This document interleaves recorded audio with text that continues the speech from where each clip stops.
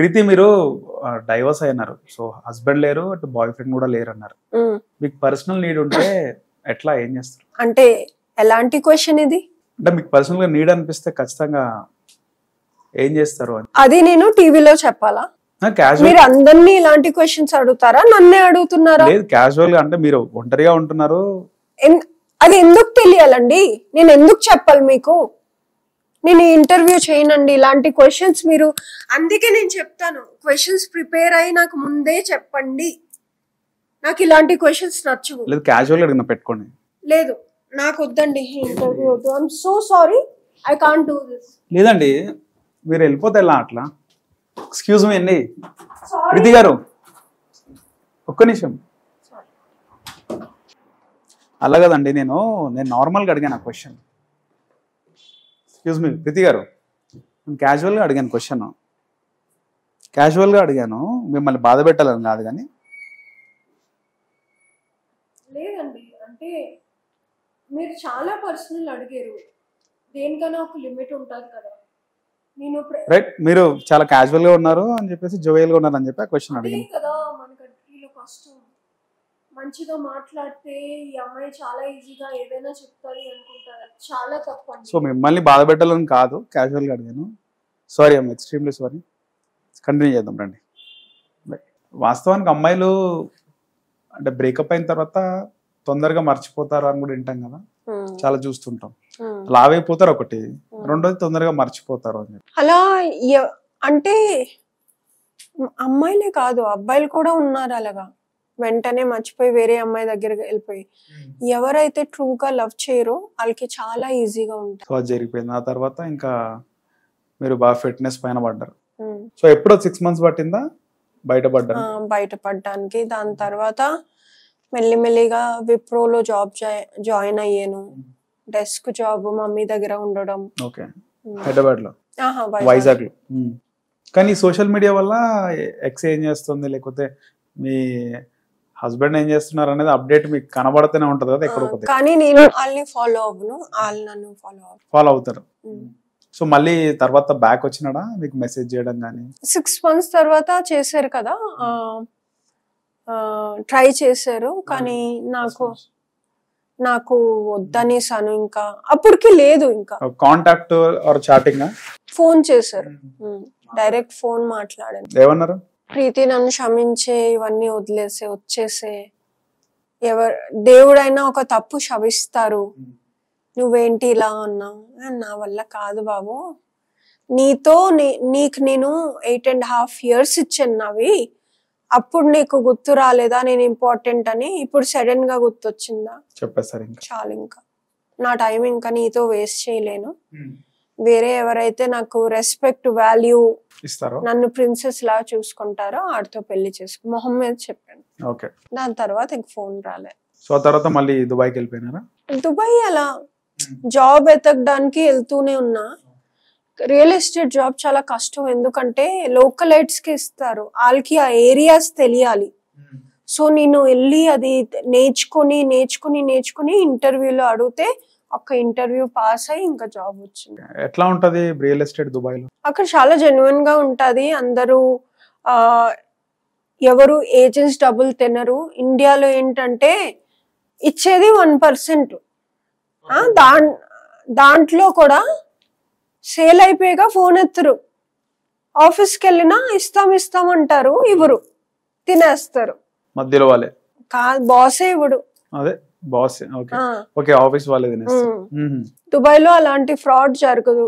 మా కమిషన్ మాకు వస్తుంది దుబాయ్లో చాలా రోజులు ఉన్నారు కదా అక్కడ రూల్స్ స్ట్రిక్ట్గా ఉంటాయని వింటుంటాం కదా. ఎట్లా. ఉంటాయి రూల్స్? చాలా స్ట్రిక్ట్గా ఉంటది అందుకే సేఫ్టీ ఎక్కువ. అక్కడ మీరు ఒక ఐఫోన్ ఏదైనా రెస్టారెంట్లో వదిలేసి వెళ్ళిపోండి టూ అవర్స్ తర్వాత రండి అది అక్కడే ఉంటది.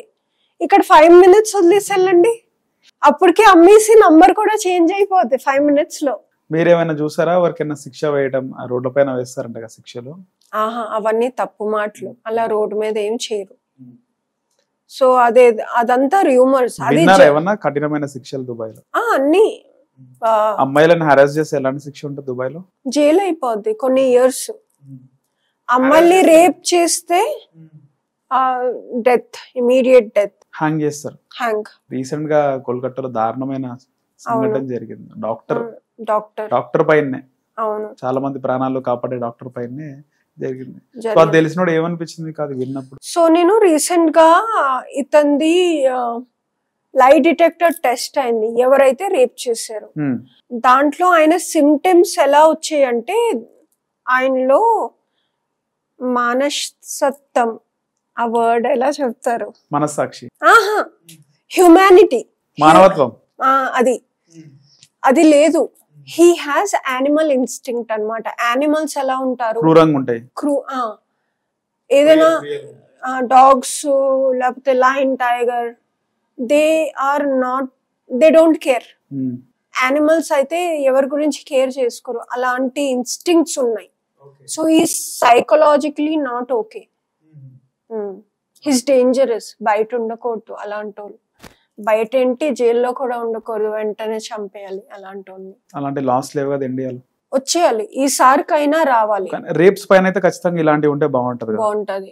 ఇమీడియట్ హ్యాంగింగ్ ఉంటే నెక్స్ట్ చేసే వాళ్ళకి భయం అవుతుంది. మన హైదరాబాద్లో ప్రియాంక కేసు ఎప్పుడైతే జరిగిందో వెంటనే ఎన్కౌంటర్ చేస్తారు ముగ్గురిని. త్రీ ఫోర్ డేస్లో చేసినారు. అలా ఉండాలి మన ఇండియా రూల్స్ కూడా.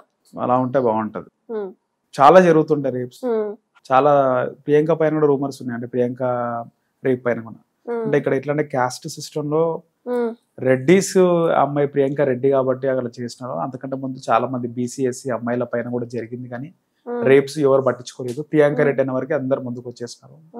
అలాంటివి కూడా ఉన్నాయి కానీ ఏ అమ్మాయి ఏ క్యాస్ట్ అమ్మాయి అయినా ఏ అమ్మాయి అయినా ఖచ్చితంగా ఇలాంటి సెక్షన్స్ ఇలాంటి హ్యాంగింగ్ ఉంటే ఖచ్చితంగా రేప్స్ అయితే జరుగు.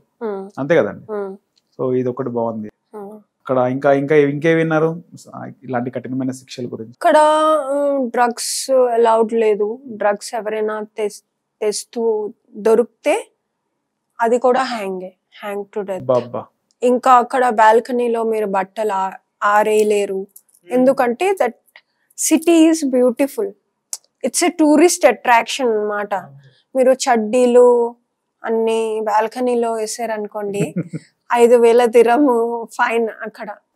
ఇక్కడ ఉంటాయి కదా పెద్ద పెద్ద చడ్డీలు తాతగారివి ఇలా హ్యాంగ్ అవుతూ ఉంటాయి. అక్కడ అలాంటివి ఉండవు సో ఇంకా ఇంకే ఉన్నాయి అలాంటి?